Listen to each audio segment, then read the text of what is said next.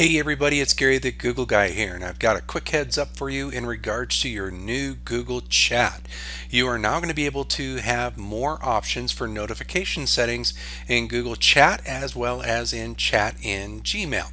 So the new options are going to affect push notifications on the desktop and mobile as well as notification badges on both the chat and Gmail apps.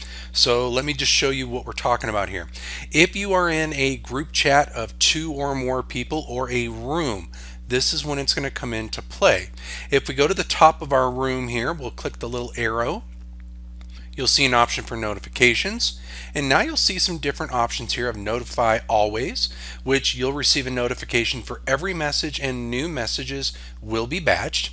Notify less, you'll receive notifications and badges for direct mentions, at all mentions, and followed threads.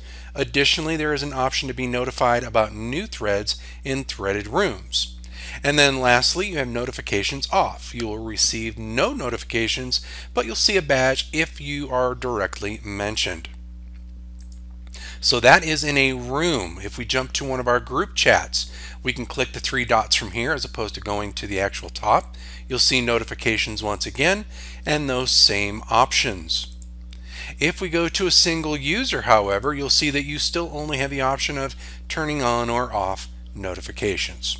So just wanted to let you know that you do have a little bit more flexibility, especially if you're bombed with a bunch of messages all at once regarding your different multiple rooms and group chats that are going on for you.